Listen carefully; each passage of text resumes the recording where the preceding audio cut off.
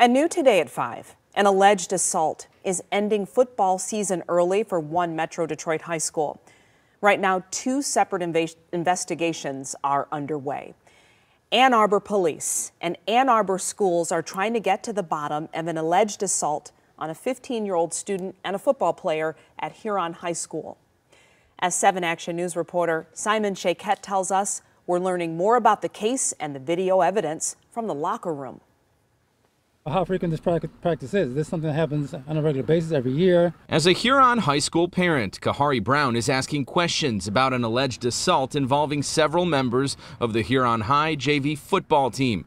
Police say the school contacted them 10 days ago to look into an October 3rd situation involving four team members, all 15, and an alleged victim, also 15. Was he aware that this is something that happens when you're on the JV team? Is it something where kids don't necessarily realize how serious it is till the police are involved? Oh, yeah, the police are involved, definitely. We've learned the alleged teenage victim was videotaped on a cell phone being shoved down to the floor and wrapped in netting, then his cell phone tossed aside and broken.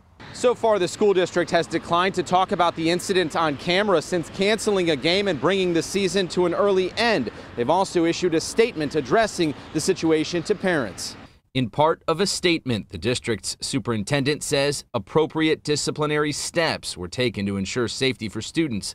A game against Lincoln was also canceled. And by email to parents, the coach adding several players were suspended. We've since asked Ann Arbor Police where their case stands and what cell phone video of the incident shows. Short video that contains most of the incident involving uh, one of the football players who was pushed down. Uh, and wrapped in some netting. Uh, during the event, his phone was broken as well. We would investigate the same as we would for adults, and then it's submitted to the Washtenaw County Prosecutor's Office. I'd be upset. Yeah, I'd be upset. Yeah, sure. I'd definitely be upset. Police add a possible motive is still under investigation, and they will examine if this incident included any possible elements of a hate crime. So far, no word on how soon findings could be turned over to the prosecutor.